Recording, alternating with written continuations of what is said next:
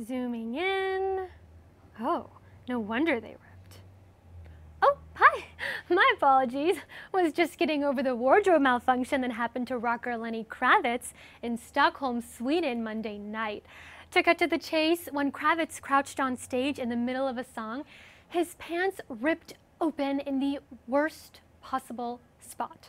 And because he went commando, people saw everything. We can't show you the photo here, it's totally not safe for work, but I know you have the skill to find it.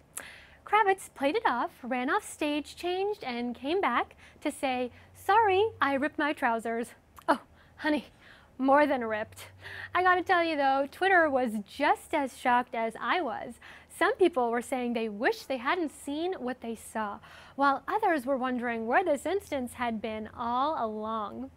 Aerosmith's Steven Tyler texted Kravitz, writing, Dude, no underwear and pierced?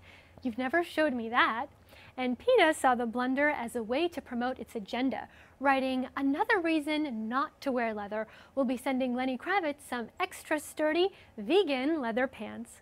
The takeaway here, fans certainly got more of a show than they asked for. But what did you think? Tweet me your thoughts at Christy Khoshaba and uh, tweet me if you find the photo. And check back here every Monday and Wednesday for more celebrity news.